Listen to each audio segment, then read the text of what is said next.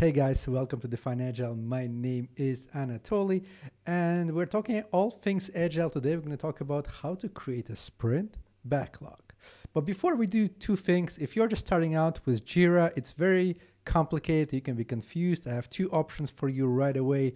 Apart from watching all the videos I have online, you can go to the description for this video at Get My Help section, and there are a couple things I can help you with. There are a course. You can learn Jira from basic to advanced in about one day. It's very, very affordable. You will love it. Second one is you can schedule time with me or someone in my team, and we can walk you through all your problems. Like if you have some issues, you start out and then you get very, very confused. Well, you can schedule time with us. We can help. So check it out as well. And now let's get to the point of this video, how to create a sprint backlog. So I'm going to start from scratch. I'm going to create a Scrum project.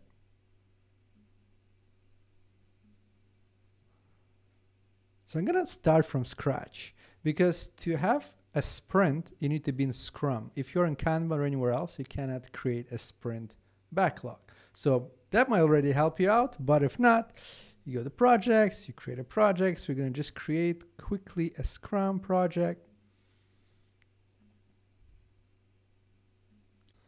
I'm sure you know how to do all of this. You click on Scrum, you click Use Template, and here you can select Either it's a match by your team or by Jira admins. Let's say Jira admins.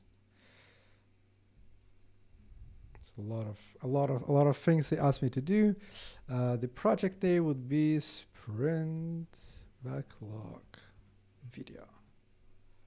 Sprint backlog video. Create. All right. You already have active sprint board, which is where it goes when uh, you put you start your sprint, and you have a backlog. So your backlog doesn't have anything, and it's just a backlog. So let's create an issue in a backlog.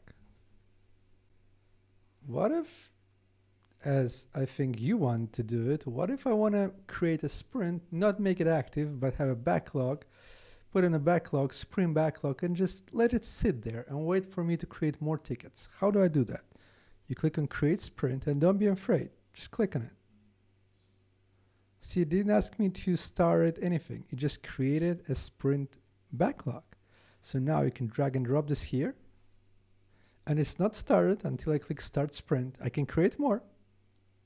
So this is my second Sprint backlog. I can create another issue. Click Test 2. for here.